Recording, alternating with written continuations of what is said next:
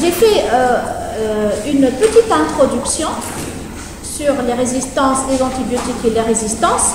Et après, on va démarrer euh, avec les corrections. Alors, pour la, correction, donc à chaque question, on va répondre et je, vais donner des clarifications supplémentaires. D'accord? Donc, il va, y avoir des choses qui peut-être qui vont se répéter, mais ça vous ne fera que du bien. Et puis, euh, s'il n'y a pas de, vous trouvez qu'il n'y aura pas beaucoup de- d'explications, on peut faire, euh, vous pouvez poser des questions et je pourrai répondre au fur et à mesure. D'accord? Donc voilà comment ça va, ça va, ça va se dérouler. Donc ça sera un, un cours, euh, une présentation ou bien un, disons un cours entre guillemets interactif. Donc j'attendrai euh, euh, tout au long de, de, de l'exposé donc vos questions et, euh, et puis vous aurez des réponses. D'accord?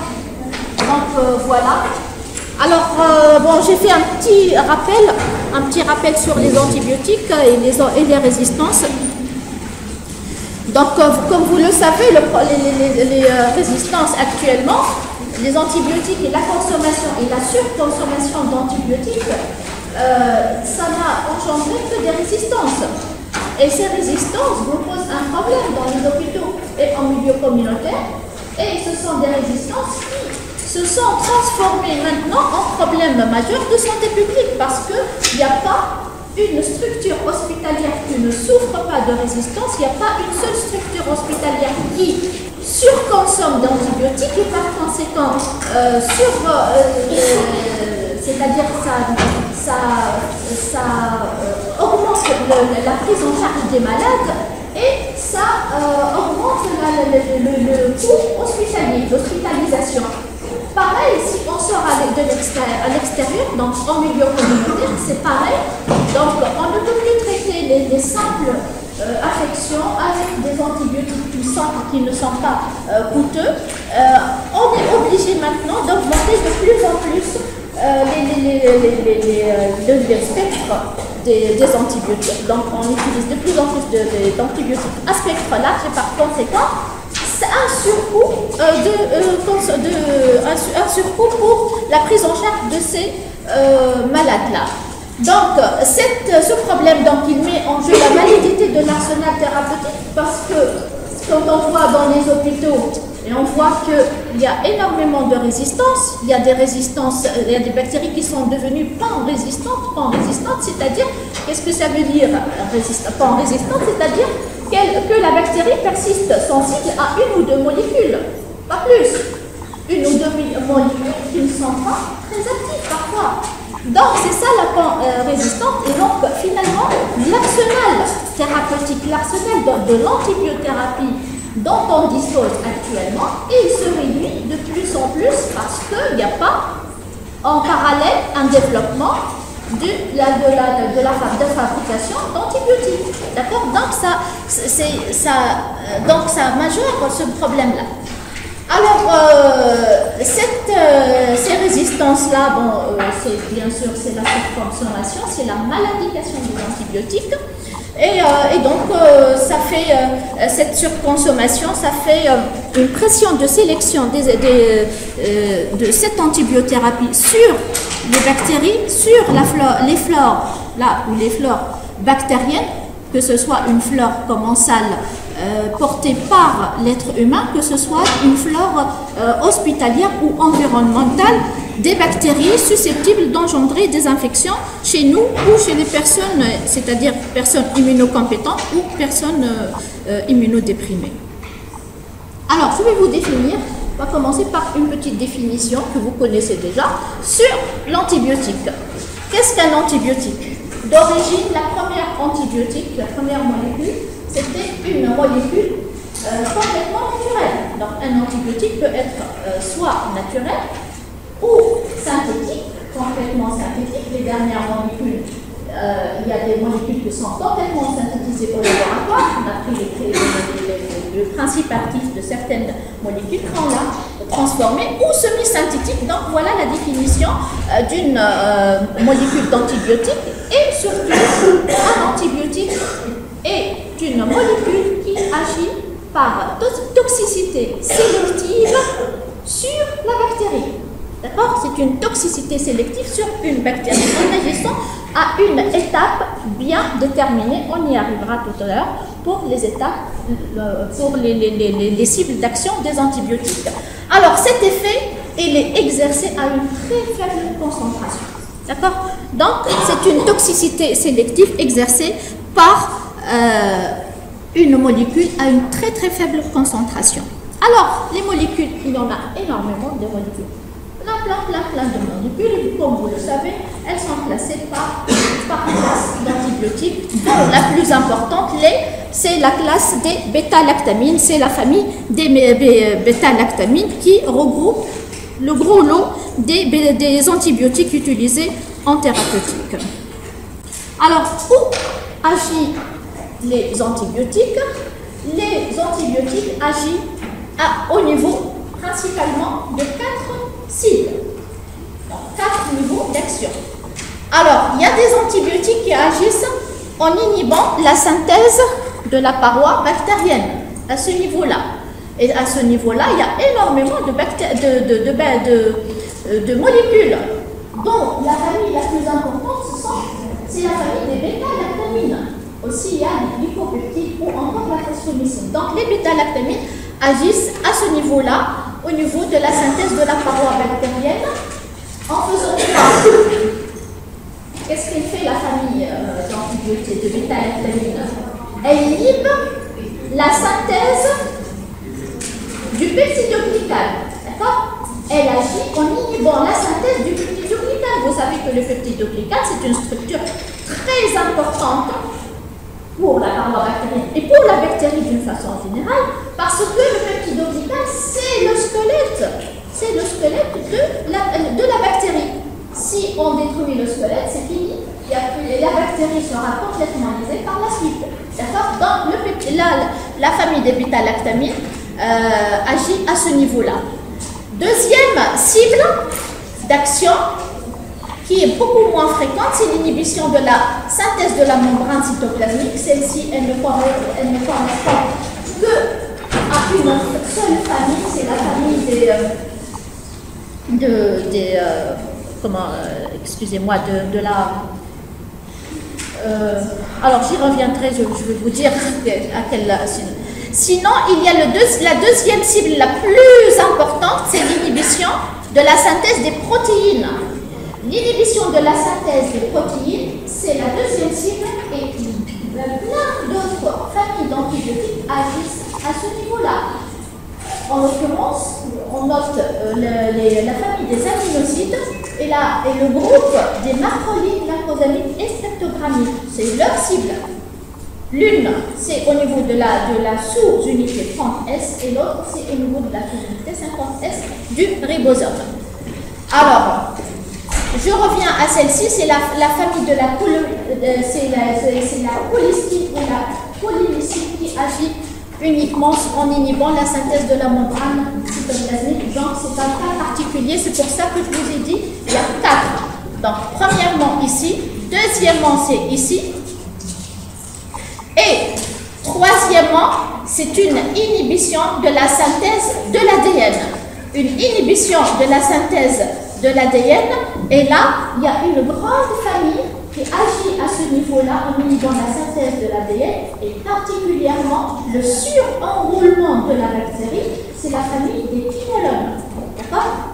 Donc la famille des quinolones agit à ce niveau-là. Alors, je reviens ici pour l'inhibition de la synthèse de la paroi bactérienne. Il y a deux mécanismes. Il y a une inhibition à un stade précoce et une inhibition de la paroi à un stade tardif. D'accord? Donc c'est pour ça que celle-ci regroupe l'essentiel de, des mécanismes d'action des antibiotiques.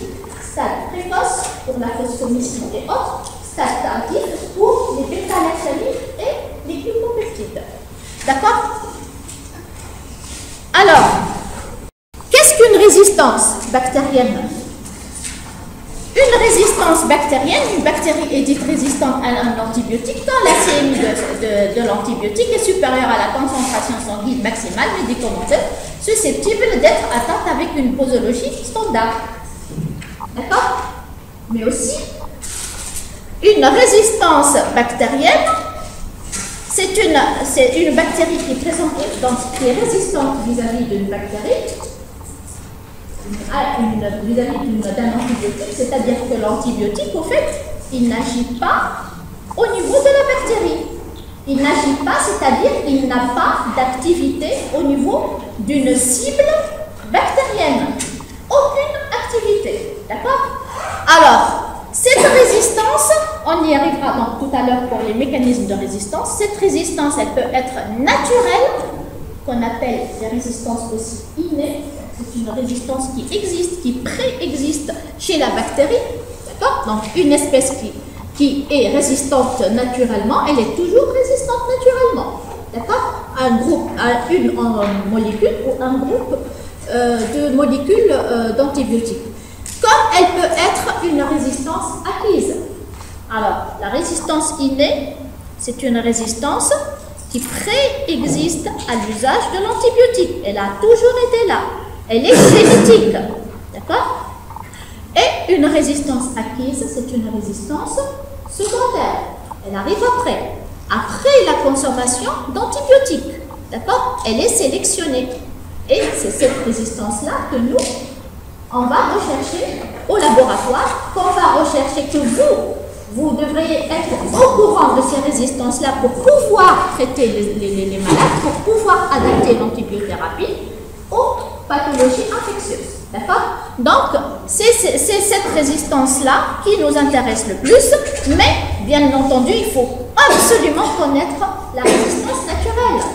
Parce qu'on ne peut pas traiter quelqu'un avec un antibiotique Bien sûr, un antibiotique, quand il présente bien sûr une infection euh, à quelque chose, par exemple une infection euh, à streptocoque, on ne peut pas bien sûr le traiter alors que euh, avec les aminosides par exemple, alors que le streptocoque est résistant naturellement aux aminosides. D'accord? Donc il faut les connaître, ces résistances naturelles, il faut les connaître et connaître les espèces euh, bactériennes qui présentent ces résistances-là. Alors, voilà, je vous ai donné quelques exemples de résistance naturel. Donc, c'est un, la, définition existe dans votre cours. Donc, c'est un, une résistance qui est programmée sur le génome bactérien. Elle est fixe et constante à l'intérieur d'un taxon. Qu'est-ce que ça veut dire un taxon? C'est-à-dire euh, une espèce ou bien un groupe d'espèces qu'on appelle famille ou bien tout un groupe bactérien. Donc, par exemple, on sait très bien que les bactéries à grammes négatifs n'ont aucune sensibilité vis-à-vis des glycopeptides. Parce que les glycopeptides, ce sont de grosses molécules et qui ne pénètrent pas à l'intérieur, des qui sont incapables de pénétrer à l'intérieur des bactéries à grammes négatifs. Donc c'est tout le taxon des grammes plus qui résiste aux glycopeptides. D'accord? Et puis, il y a les... Comment? Tu fais les bactéries à grammes négatifs résistent aux, euh, glycopeptides. Donc, tout le taxon des grammes négatifs n'ont aucune sensibilité à l'égard de cette famille des glycopeptides, la vancomycine et la thécoplamine.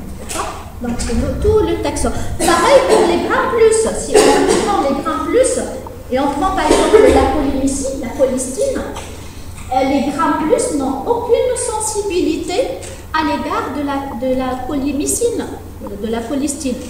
Parce que cette, cette, cette euh, euh, molécule n'agit que sur les grammes négatifs.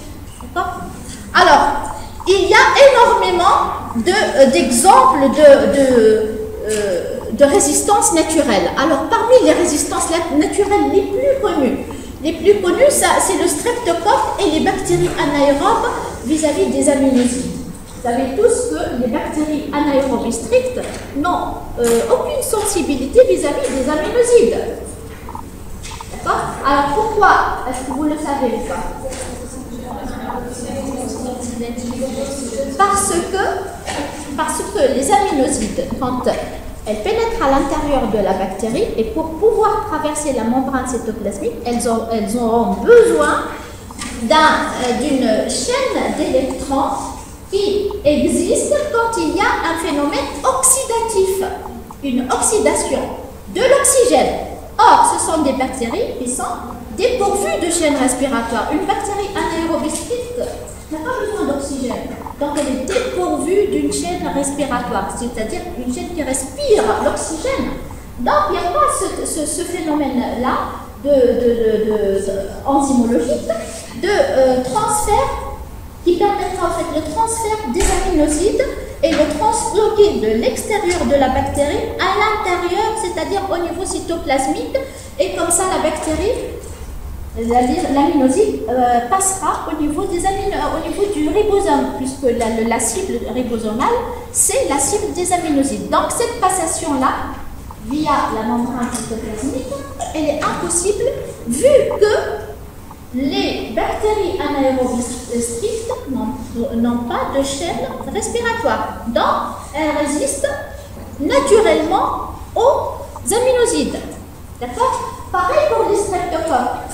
Le streptocoque, quand on parle des streptocoques, au fait, on dit que ce sont des bactéries aéro-anaérobies facultatives. Vous les bactéries les aérobies strictes, aéro-anaérobies facultatifs, ou bien anaérobies strictes, ou bien aérobies strictes. C'est ça les quatre classes de, respiratoires des, des, bactéries. Alors, euh, les, streptocoques sont classés comme étant des bactéries aéro-anaérobies. C'est faux. Ce ne sont pas des bactéries strictes, ce sont des bactéries qui sont aérotolérantes. Je aérotolérantes, c'est-à-dire qu'elles tolèrent la présence de l'oxygène, mais elles ne le respirent pas. Elles ont une chaîne respiratoire qui est défectueuse et qui ne lui permet pas de respirer l'oxygène. Mais ça ne lui pose pas la, présence de, ça lui pose aucun problème la présence d'oxygène dans son ambiance. D'accord? À la différence des bactéries anaérobies strictes. Les bactéries anaérobes strictes, quand elles sont en présence d'une très faible quantité d'oxygène, elles seront complètement détruites. D'accord? Parce que l'oxygène pour les bactéries anaérobes strictes, il est toxique. Pour les streptocoques, ils le tolèrent, il, est assez robuste pour supporter une ambiance riche en oxygène, mais il ne le respire pas. Donc c'est le même phénomène, c'est parce qu'il s'agit d'une bactérie qui, est dépourvue d'une chaîne respiratoire oxydative qui oxyde l'oxygène par conséquent, elle est résistante naturellement aux, aux aminosides. Alors, tout à l'heure, j'avais parlé de ces bactéries à grammes négatifs et les glycopeptides.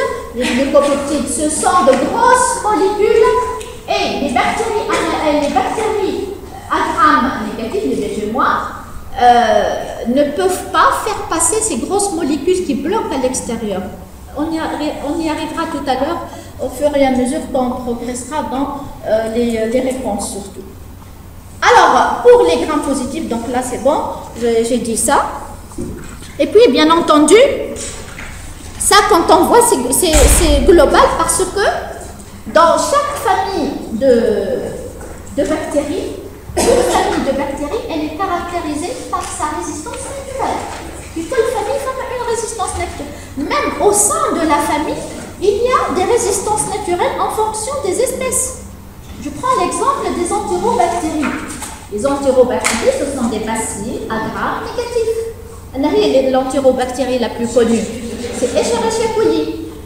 Quels sont les autres apparentés à Escherichia coli? Qui font partie de la même famille, mais qui, constituent un autre genre. Klebsiella, par exemple. D'accord? Les salmonelles aussi, ce sont des entérobactéries. Le Proteus, Proteus mirabilis, d'accord C'est une autre entérobactérie. Entérobactère cloaquée. Bon, je vais me contenter de ces, quelques espèces-là. Même l'exemple des Escherichia coli. Escherichia coli, à l'égard de toutes les molécules qui sont actifs sur les bactéries à gram négatif, elle n'a aucune résistance. Aucune résistance. Elle est complètement sensible. Que les aminopénicillines, les carboxypénicillines, les iruidopénicillines, les euh, céphalosporines première, deuxième, troisième génération, les carbapénèmes, les aminosides, euh, les, la polymycine, euh, le bactrine, les fluoroquinolones, ta résistance. Polymorphes sensibles, ont une bonne activité sur Escherichia coli. Elle est elle a un phénotype sauvage, quand elle n'a pas développé de résistance. D'accord? Presque qui vraiment qui, qui, lui ressemble énormément, qui est Klebsiella pneumoniae.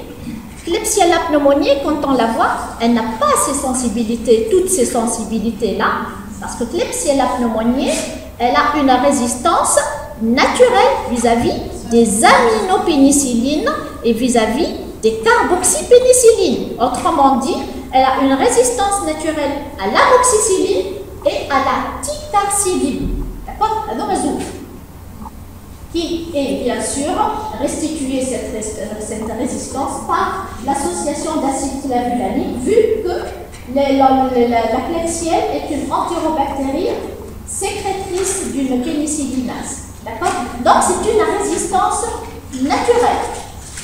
Je peut-être peut-être mirabilis. Quand on prend l'exemple du Proteus mirabilis, Mirabilis, il, ressemble énormément à l'Escherichia coli. Avec toutes les sensibilités vis-à-vis des bêta-lactamines, vis-à-vis des aminosides, vis-à-vis des quinolones, sauf que, à la différence de l'Escherichia coli, a une résistance naturelle à la à la polystine, d'accord? Et la polymyxine, autrement dit. D'accord? C'est une résistance naturelle que nous, au laboratoire, on arrive à l'identifier parce que les caractères biochimiques d'identification, parfois, elles ne sont pas parlantes, complètement parlantes, et donc on peut compléter l'identification par, par la résistance naturelle. D'accord? Donc, autre, euh, pour résumer la situation, dans chaque euh, groupe bactérien, des euh, résistances naturelles qui concernent tout le groupe, ou bien il y a des résistances naturelles qui concernent quelques espèces ou bien quelques genres. D'accord? Donc la résistance naturelle est liée. Il n'y a pas une bactérie qui est sensible à toutes les molécules. Un, une euh, un antibiotique n'est jamais à 100% actif sur toutes les espèces bactériennes. C'est-à-dire quand on parle de euh, bactéries et on parle de, de, bactéries sensibles et antibiotiques actifs. D'accord? Mais, bien entendu, ça, ça surajoute à ça les résistances naturelles. On, on y arrivera tout à l'heure pour parler de résistance naturelle. Alors, la résistance acquise, par définition, la résistance acquise, c'est une certaine, donc elle concerne une certaine proportion de souches d'une espèce qui est normalement sensible à l'antibiotique et qui devient par la suite résistante à une ou plusieurs antibiotiques. Je reprends l'exemple de l'Escherichia coli. D'accord? L'Escherichia coli qui était très sensible. Elle n'avait aucun problème. Donc, euh, vis-à-vis des bêta-lactamines, tout est actif. Si on prend les aminosides, tout est actif. Si on prend les euh, quinolones aussi, si on prend le bactérie, l'association d'antimétoprim euh, sulfamidoxazole, donc une très bonne activité de toutes les molécules. Et donc, on, a, on a l'embarras du choix et on peut choisir n'importe quoi. Sauf que maintenant, les chers et chers qui avant étaient très sensibles à des antibiotiques, maintenant, à cause de l'usage, bien sûr, intempestif et non contrôlé des, des, des, antibiotiques, on a développé de plus en plus de résistance. Alors, cette Escherichia qui était toute gentille, puis, euh, qui causait une petite infection urinaire qu'on pouvait traiter même avec la, le, le maintenant on ne peut plus parce que cette Escherichia coli elle a développé des résistances. Ça a commencé par une toute petite pénicillinase qui touchait uniquement les pénicillines, c'est-à-dire l'amoxicilline et la ticarciline. Mais quand on rajoute l'acide clavulanique, ça reprend la sensibilité. Et donc, par la suite, on a augmenté un tout petit peu, on a augmenté, dit bon, on ne traite plus avec le clavucine ni avec la ticarciline, on va traiter avec l'augmentin. L'augmentin, c'est bon, c'est actif. Actuellement, même avec l'association amoxicilline-acide clavulanique, on ne peut plus parce que l'augmentin lui-même est devenu résistant. Donc la bactérie, elle a développé une résistance vis-à-vis de l'augmentin. Plus encore, elle a développé un autre patrimoine génétique qui lui permet d'élargir son niveau de résistance pour atteindre les céphalosporines, parce que les céphalosporines, quand elles étaient là, étaient euh, faites essentiellement pour pallier les résistances bactériennes vis-à-vis des, euh, des euh. D'accord? Donc, les, les, les, céphalosporines ont été fabriquées dans ce sens. Donc, maintenant, ce sont les céphalosporines, première génération, deuxième génération, voire même troisième génération. Et par la suite, y a eu l'arrivage des euh, carbapénèmes vers les années 90, euh, euh, les carbapénèmes, l'imipénèmes, l'actapénèmes, etc. Nous, en Tunisie, mais sachez qu'il y a énormément d'autres. Et donc, l'arrivage des, des qui était à usage uniquement hospitalier, maintenant, on assiste dans les hôpitaux à une émergence de résistance bactérienne, même si c'est des carbapénèmes. D'accord? Donc, maintenant, on a une autre épidémiologie bactérienne, on n'a plus une, une, une, euh, flore microbienne multisensible comme avant. Maintenant, nous avons une flore microbienne qui est très résistante. Dans la résistance augmente de plus en plus. Les 100% des antibiotiques, plus on augmente la fréquence de ces résistances-là. Qu'on découvre une nouvelle classe d'antibiotiques, il y a tout de suite après une émergence de résistance. Alors, si on remonte un tout petit peu dans le temps, vous savez, la première molécule qui était, qui était découverte, c'était Alexandre Fleming, c'était la pénicilline G. C'est ça? Donc, c'est la pénicilline G. Alors, la pénicilline G, elle a été découverte en 28. Elle a été mise sur le marché dans les années 40, euh, euh, spécialement en 43. Alors, en 40, c'est-à-dire marche public, parce que Alexandre Fleming, c'était un, Anglais, et les Anglais, déjà, pendant la Première Guerre mondiale, ils utilisaient la pénicilline mais c'était secrète, c'était une, une, molécule secrète. C'était en 43 et 44 à la fin de la Première Guerre mondiale, qu'elle a été mise euh, en marché. Et donc, la pénicilline G, au départ, euh, elle était très active. Donc ici, c'est pas 40, c'est pour, pour dire les années 40. D'accord? Donc, en 43, les Français, les Américains, tout le monde commençait à consommer la, la pénicilline G. En 44, le staphylocoque, c'était pour traiter les staphylocoques, les infections staphylococciques. En 1944, le staphylocoque qui était sensible à la pénicilline G, il est devenu résistant. Ah, d'accord? Une année avait suffi pour développer une résistance. Donc, le staphylocoque, ah, voilà, c'est écrit ici, euh, de staph productrice d'une pénicillinase. Par la suite, c'était les céphalosporines, c'était une euh, une première molécule de céphalosporine, mais pas comme vous le, comme vous le connaissez, c'était, euh, euh, c'est, la molécule ancestrale de, ces, de ces molécules-là. Donc les, dans les années 50 aussi. Donc bon, il y a autre chose qui a été découvert, la streptomycine entre-temps, et puis d'autres, les les, les aminosides aussi à ce niveau-là. Donc, dans les années 60, c'était les aminopénicillines. Les aminopénicillines, l'ampicilline, ou bien encore euh, le, le. Alors, quand on a mis sur le marché les aminopénicillines, il y a eu émergence d'espèces bactériennes productrices normalement d'une céphalosporinase. Parce que on a, avec la, surconsommation des pénicillines, des aminopénicillines, ces germes-là, euh, donc entérobactères, etc., ce sont des germes qui sont naturellement résistants, euh, chromosomiquement, hein, naturellement et chromosomiquement sont résistants aux aminopénicillines. Et donc, quand on donnait des, des, des traitements par l'amoxicilline ou bien l'ampicilline à ces personnes-là, on, fait, on faisait émerger dans la flore euh, habituelle ces bactéries qui seront par la suite résistantes, euh, plutôt responsables d'infection. D'accord? Donc tout de suite, on a fait émerger ici. Alors, par la suite, c'était l'usage de ces, de ou céphalosporines de deuxième génération. Et on a eu l'émergence encore d'autres, profils de bactéries qui sont résistants, mais hyper résistants, euh, avec une hyperproduction de céphalosporinase. Et voilà, à chaque fois qu'il y a une nouvelle euh, classe de, bêta-lactamine, il y a émergence de nouvelles euh, résistances. Et là, euh, dans les, dernièrement, nous sommes dans les années 90, on est arrivé à ce niveau-là, entre 80 et exactement en 85.